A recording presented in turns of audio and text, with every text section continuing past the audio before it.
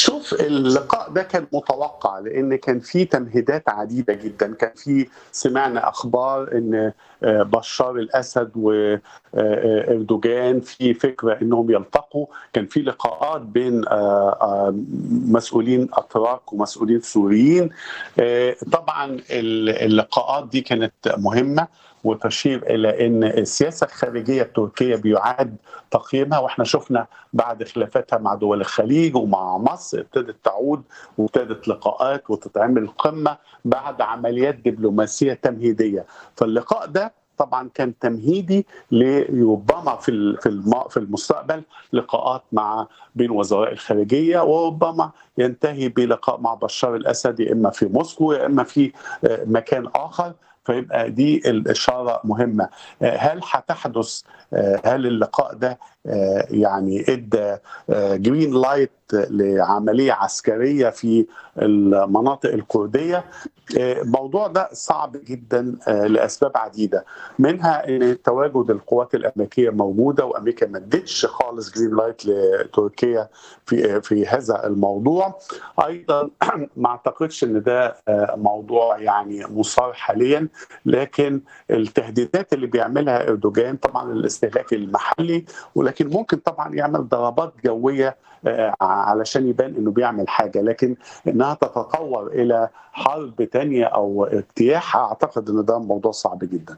مواقف دكتور سعيد مواقف الأطراف الدولية الأخرى لا سيما الأمريكي والإيراني مما يجري؟ شوف روسيا في حالة أزمة بسبب أوكرانيا فهي مش عايزة الموضوع السوري ده يفلت منها منها فعايزه تهدي الأوضاع. تركيا بتعتمد على الغاز والبترول الروسي وليه علاقات استراتيجية ما تقدرش تزعل موسكو أو تدخل في خلاف معاها. أمريكا عندها طبعا رغم إن الإعلام الأمريكي كل شوية بينتقد التواجد العسكري الأمريكي اللي, بيعتبروه إنه ملوش معنى إن إحنا نبقى موجودين في سوريا وممكن نتعرض لمشاكل لكن إنها لأسباب استراتيجية ما تقدرش أمريكا تنسحب من سوريا وتترك الساحة لإيران وروسيا فهي هتظل موجودة. إيه موقفها من هذا الاجتماع؟ هي بتراقب لكن هي ما علقتش خالص رسميا على هذا الاجتماع لكن إذا كانت هيهدي الأوضاع ماشي. لكن هل هيقوم بضرب المناطق الكردية؟ ما أعتقدش أمريكا إدتهم هذا ال green light لأن أي عملية ضرب في المناطق دي هيصل أيضا إلى القوات الأمريكية المتواجدة هناك. وده طبعا من المواقف الصعبة. إيران أعتقد مبسوطة من اللي بيحصل لأن الاجتماع ده تحت الرعاية الروسية آه ودي صديقتها وفي تفاهمات بينهم وما أعتقدش إن هم قلقانين من هذا الاجتماع إنه يعمل أي حاجة. وعامة أي ضربة للأكراد في سوريا مفيدة لإيران اللي هي أيضا بتضرب الأكراد في آه كردستان وفي مناطق أخرى. فبالنسبة لها ما هوش مشكلة خالص لكن لا يوجد تهديد بالنسبة لهم لهذه اللقاءات. يمكن أكثر الناس اللي قلقانين من هذا الاجتماع لائتلاف المعارضة السورية. دكتور سعيد البعض يعتبر أن روسيا في أزمة والنظام التركي في أزمة فلذلك لجأ إلى مصالحة النظام أو الحكومة السورية للخروج من هذه الأزمة. بالضبط طبعا.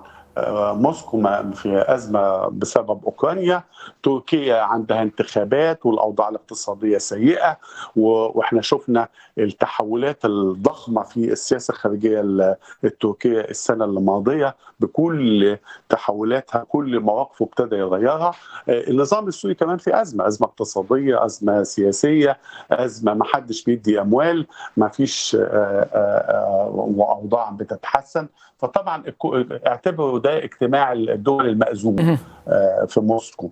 فده الوضع. لكن ده بقى تأثيره على المنطقة إيه؟ هنشوف بقى لكن من الواضح طبعا إن أكتر ناس هتبقى خسرانة هو الائتلاف المعارضة السورية. في هذه النقطة دكتور سعيد ما موقف المعارضة التي يعتبر النظام التركي الراعي الرسمي لها بعد التطبيع مع الحكومة السورية؟ وهناك مظاهرات في الشمال السوري ضد هذا الاتفاق وهذا التقارب.